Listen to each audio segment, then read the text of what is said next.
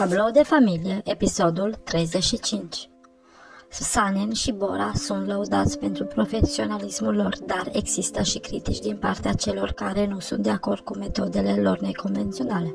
Colpan continuă să fie supărat pe Sanem pentru decizia ei de a nu anula căsătoria cu Bora și de a se muta la el.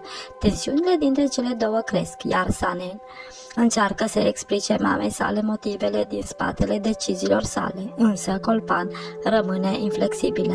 Acest conflict devine o povară emoțională pentru Sanem, care încearcă să găsească o cale de reconciliere.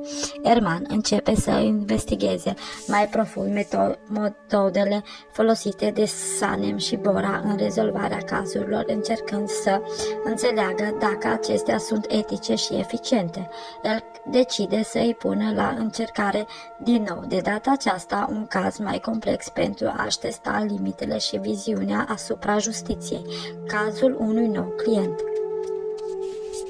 Un nou client, o femeie acuzată pe nedrept de crimă, vine la biroul lui Bora și Sanem. Acesta devine rapid un caz complicat, cu multe răsturnări de situație și indicii false. Sanem și Bora trebuie să colaboreze strâns pentru a descoperi adevărul.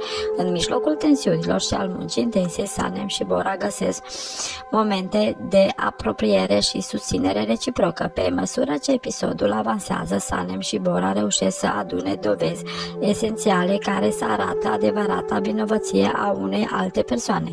Cazul se încheie cu succes demonstrând încă o dată abilitățile și inteligența echipei formată din Sanem și Bora.